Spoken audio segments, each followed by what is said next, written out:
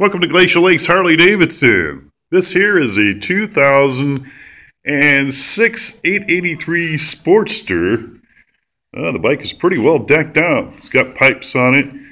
Does have some extra chrome, like the chrome covers on the oil tank.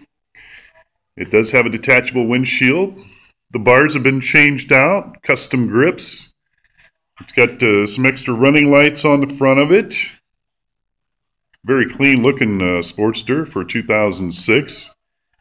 It does come with the solo seat, the solo luggage rack, uh, the cover over the light in the back.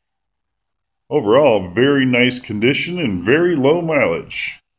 Also has pegs, shifter, brake pedal, all custom. The mileage on this bike, 69.56. Let's give it a listen.